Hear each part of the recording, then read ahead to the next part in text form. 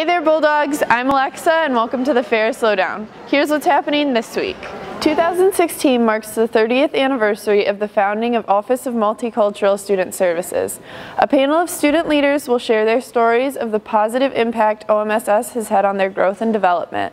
It begins at 11 a.m. in the University Center Founders Room 203. Thursday, April 28th will be the annual Holi Festival in the Quad. Holi is known as the Festival of Colors in India. Participants are encouraged to throw color powder and water on each other. The event is from 5 to 7.30 and will include Indian music, dance, and authentic Indian snacks. Thursday, April 28th is also the Torchbearer Awards. This event is to recognize outstanding students, faculty, and staff.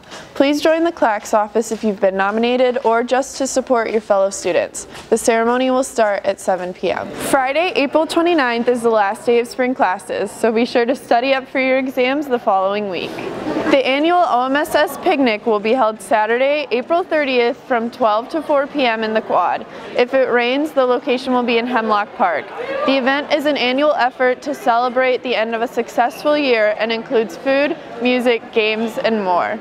That's it for this week. If you have any more questions on events, you can check out the campus calendar. I'm Alexa, and I just gave you the Ferris Lowdown.